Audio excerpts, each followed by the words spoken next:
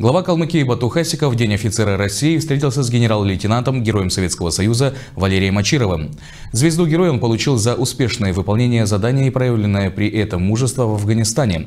Отдаем дань памяти погибшим воинам-афганцам. В следующем году исполнится 35 лет со дня вывода войск из Афганистана. Подписал указ о ежегодной денежной выплате воинам-интернационалистам, участвовавшим в конфликте на территории Демократической Республики Афганистан в размере 20 тысяч рублей.